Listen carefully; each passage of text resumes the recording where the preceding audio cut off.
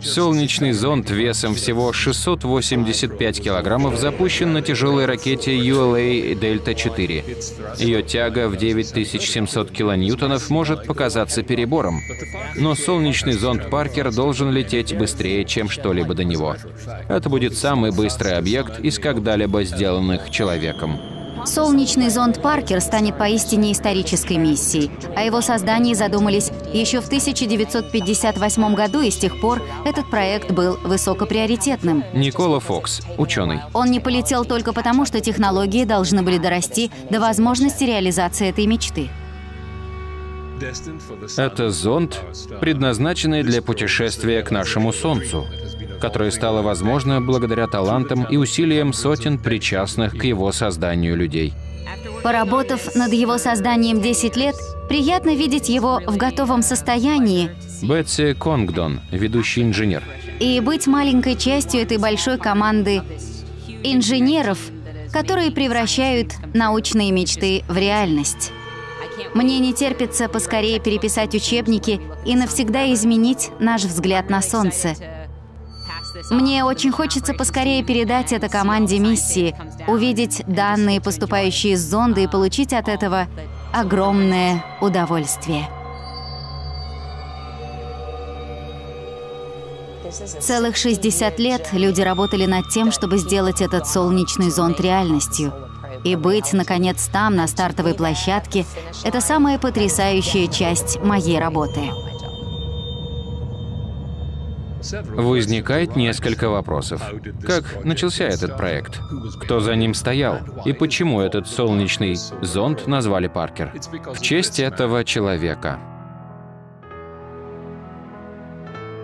Солнечный зонд Паркер Энджела Линта, декан кафедры физики. — это первый космический аппарат, названный по фамилии живущего человека —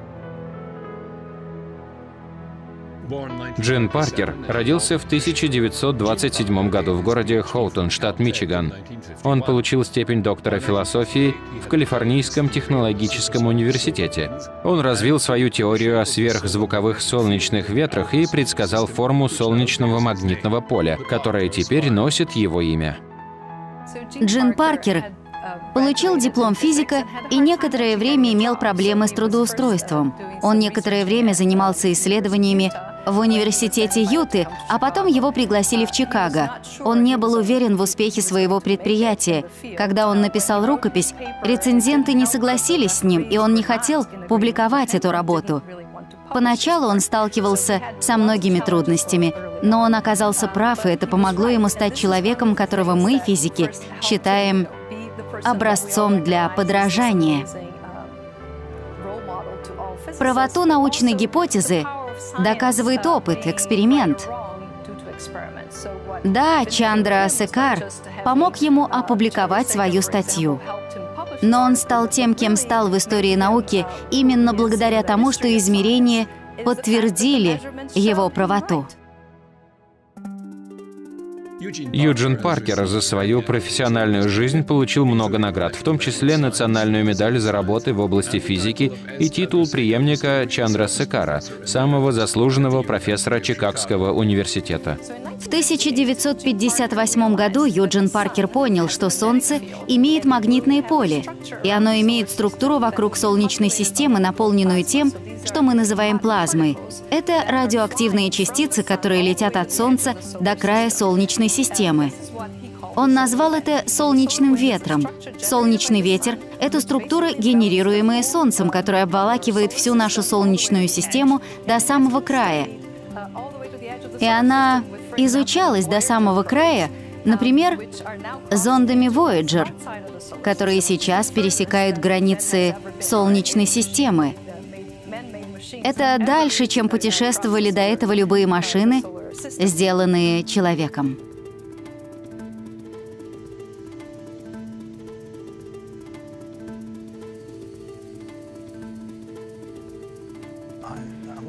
Мне смешно, когда я вспоминаю, как это беспокоило людей. Они уверяли меня, что я допустил математическую ошибку. Я говорю, ладно, считаете, что я ошибся? Вот пять уравнений, и покажите мне мою ошибку. Юджин Паркер, астрофизик. Удивительно, но некоторые люди никак не могли отказаться от старых идей.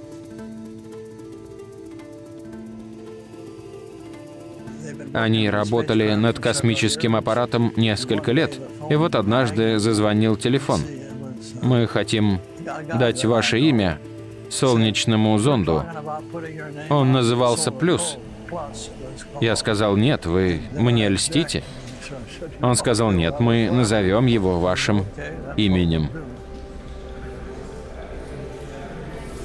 Хотя успех этой миссии, названный его именем, придет через много лет, усилия не потраченные даром.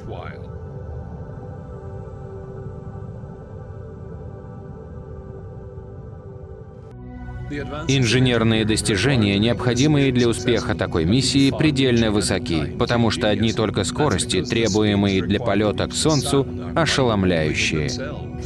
Солнечный зонд больше, чем когда-либо приблизится к Солнцу, будет лететь на высочайшей скорости и войдет в самые горячие зоны Солнечной системы. Скорость так высока, что можно было бы добраться из Чикаго до Пекина меньше, чем за минуту. Есть много разных технологий. Нужны солнечные батареи, нужна автономия. Чрезвычайно важен тепловой экран, технологии, позволяющие защитить зонд от солнца.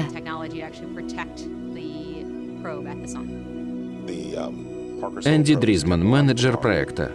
Солнечный зонд Паркер — это технологическое чудо. Тепловая защита, тепловой экран будет светиться вишневым цветом. Температура наружной части будет 1300 градусов, а температура зонда — 29,5.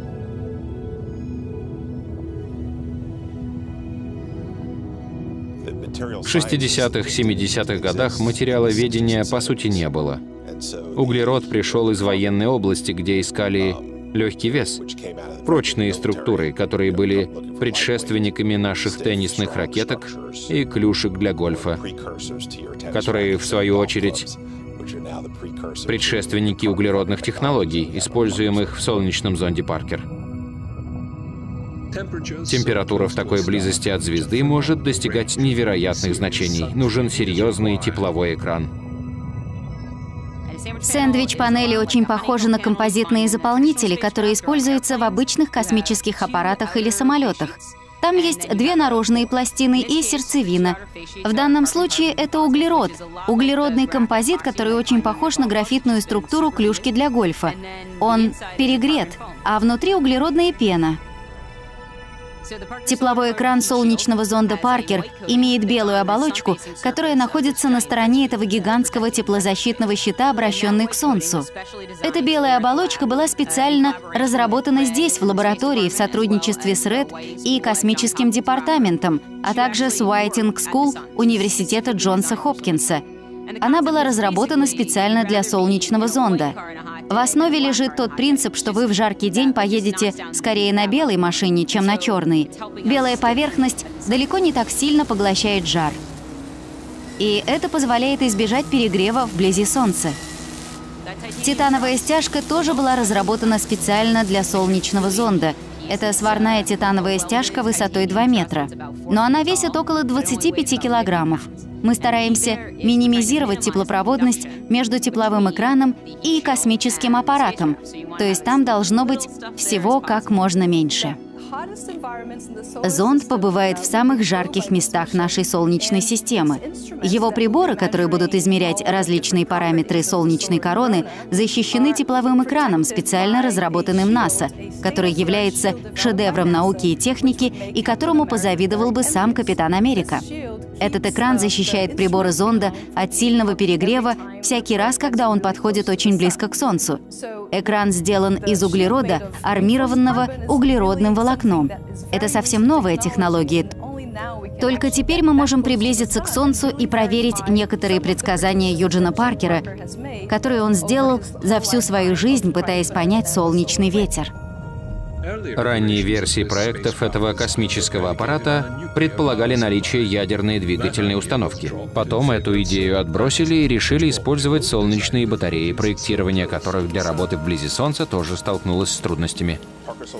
Солнечному зонду Паркер для работы нужна электрическая энергия, как и большинству спутников. Космические аппараты запитываются от матрицы солнечных батарей, но в данном случае нужно вырабатывать электроэнергию в непосредственной близости от Солнца.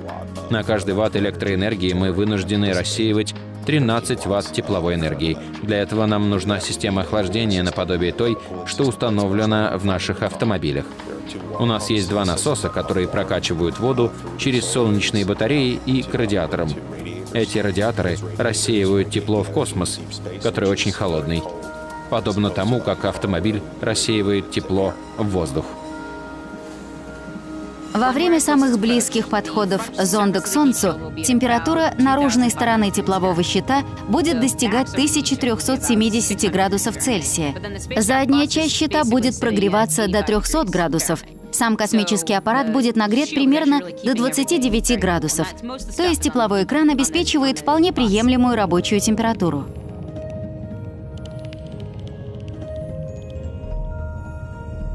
У нас есть пробел в научных данных. И этот пробел как раз там, куда направляется солнечный зонд. Мы заполним этот пробел научными знаниями. Это настоящее исследование. Мы не идем по чьим-то следам, мы будем там первыми. Самое интересное — это будут не ответы на имеющиеся научные вопросы, а новые вопросы, которые поставит перед нами наш солнечный зонд. Потому что мы практически уверены, что у нас есть ложные представления. А этот зонд поможет нам исправить их. И это породит еще гораздо больше вопросов и новые исследовательские миссии. Солнечный зонд Паркер, созданный НАСА, скоро приблизится к Солнцу ближе, чем любой космический аппарат до этого. Шесть с лишним миллионов километров от видимой поверхности. Но такое приближение к Солнцу потребует сказочной орбитальной механики и рывок сумасшедшей силы. Почему же так трудно приблизиться к Солнцу? Еще одна причина, почему солнечный зонд Паркер не был запущен ранее, в предыдущие 60 лет, состоит в том, что приблизиться к Солнцу очень трудно. Это требует большого количества энергии. Когда спутник покидает орбиту Земли, он летит со скоростью Земли вокруг Солнца. Земля движется вокруг Солнца примерно со скоростью 30 км в секунду. Из всех космических проектов, над которыми я работала, Йень Пингуо, ученый. Проект создания солнечного зонда Паркер самый сложный. Энергия, необходимая для приближения к Солнцу, в 55 раз превышает энергию, необходимую для достижения Марса, и в два раза для достижения Плутона. Такое непосредственное приближение к Солнцу может также повлиять на связь с Землей. Для работы в такой опасной среде инженеры должны разработать очень умное программное обеспечение. Солнечный зонд Паркер имеет продуманную автономную систему самозащиты. В течение длительного времени зонд не может держать связь с Землей, и он должен позаботиться о себе сам. Инженеры на этапе разработки много думали о том, что могло бы негативно повлиять на работу зонда. И они выработали решения, которые применены в автономной системе самозащиты. Поэтому даже если что-то случится на орбите, мы надеемся, что не случится, система сможет позаботиться о себе и защитить космический аппарат. Один из самых часто задаваемых мне вопросов — это что случится, если зонд будет поражен солнечной вспышкой или выбросом корональных масс? Будет ли он разрушен? Это один из самых часто задаваемых вопросов. Я отвечаю, что научное сообщество будет в восторге, если случится вспышка или выброс корональных масс. Эти события кажутся очень драматичными, когда смотришь на них в телескоп, но на самом деле они очень эфирные. Плотность частиц не такая высокая, чтобы это могло повредить космический аппарат. Зато приборы на борту аппарата, такие как приборы измерения электромагнитного поля, частиц высокой энергии, плазмы и датчики видимого белого света будут свидетелями этого события. Ведь здорово же увидеть солнечную вспышку и пролететь сквозь нее. Набор датчиков солнечного зонда Паркер действительно впечатляет. Каждый из них был разработан с учетом работы в условиях сильной радиации и высоких температур. Они должны будут измерять частицы, электрическое и магнитное поле солнечного ветра. На борту имеется формирователь сигналов изображений Whisper. Whisper — единственный инструмент для работы с изображениями на солнечном зонде Паркер. Он направлен в сторону движения космического аппарата. Он видит свет, рассеянный пылью, имеющийся на орбите орбите возле Солнца. Но когда мы это удалим, он будет видеть свет, рассеянный электронами в короне, в солнечном ветре. Рассел Хевард, научный руководитель лаборатория военно-морских исследований. Измерения, которые мы делаем с помощью Whisper, были проделаны ранее с расстояния Земли, около 160 километров от Солнца. Приближаясь, мы получаем возможность увидеть то, что происходит действительно близко к Солнцу. Когда мы близко, между нами и интересующим нас объектом нет посторонних предметов, нет помех. И тогда мы можем наблюдать объект таким, какой он есть на самом деле.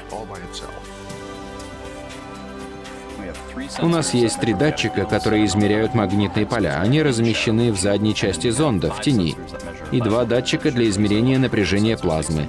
Это датчики электрического поля. Они находятся на солнечной стороне и очень сильно нагреваются. Есть два способа измерения электрических полей в космосе, в котором используется метод, называемый двойной проблемой. И есть другой метод, при котором измеряются волны плазмы и радиоволны. Я думаю, самые первые данные, которые мы получим, будут революционными. Стюарт Бейли, ученый. Сначала это будет просто пачка цифр, привязанных к моментам времени, но потом специалисты на основе этих цифр сделают спектрограммы. Потом эти данные будут привязаны к моделям, и мы сможем непосредственно сравнивать трехмерные модели коронального магнитного поля. Для понимания коронального жара важны прежде всего два измерения – измерение магнитного поля и измерение электрического поля. Взятые вместе они дают нам энергетический электрический поток короны. Подобные измерения никогда не проводились вблизи от Солнца. Мы делали похожие измерения магнитосферы Земли, ионосферы Земли, но измерения в короне Солнца никогда не проводились. Это будет впервые. И исходя из тех наблюдений, которые мы получили с космических аппаратов, работавших гораздо дальше от Солнца, от этой миссии следует ожидать революционных открытий.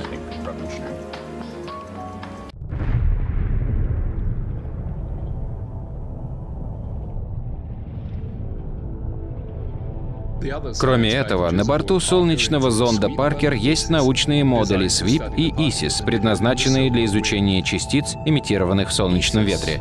ISIS — это прибор для комплексного научного исследования Солнца.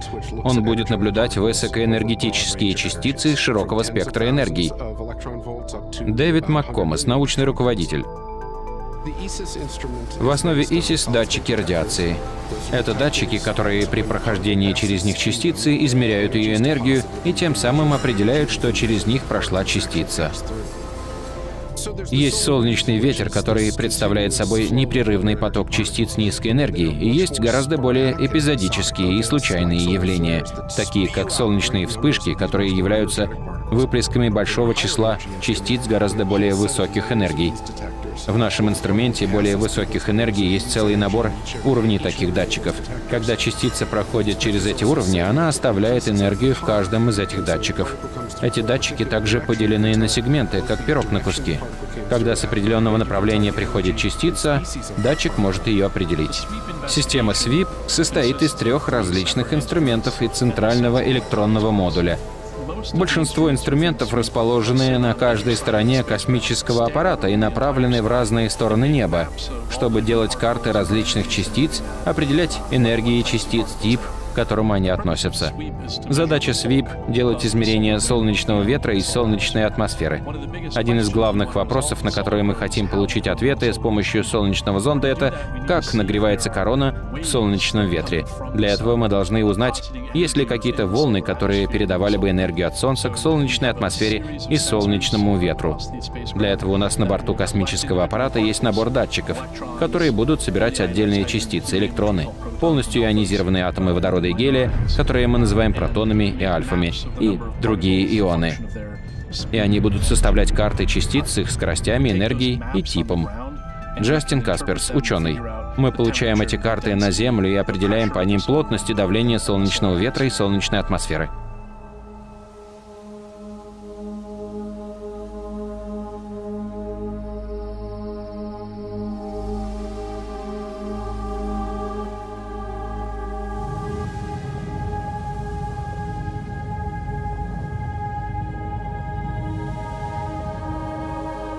Изучение нашей звезды, нашего Солнца, позволит нам лучше понять природу Солнечной системы и ее влияние на нашу жизнь во всех отношениях.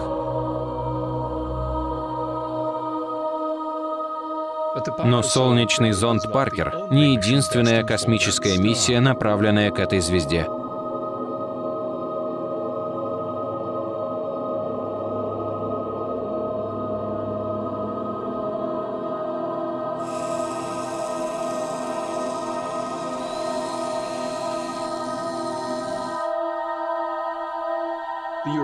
ЕКА тоже не бездействует.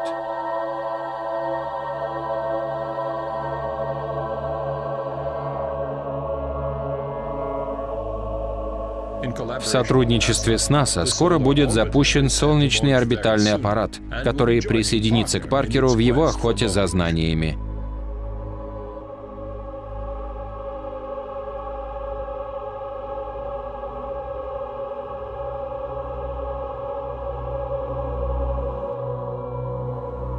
Орбитальный аппарат будет летать по эллиптической орбите в пределах орбиты Венеры, но с гораздо большим наклоном от эклиптики, чтобы ему были доступны полюсы Солнца.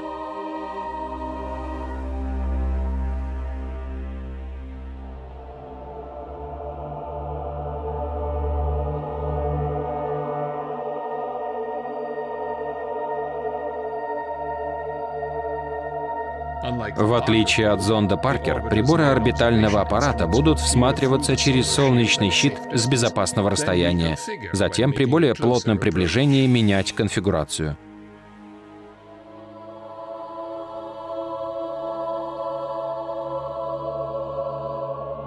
Вместе они узнают секреты самой близкой к нам звезды — Солнца.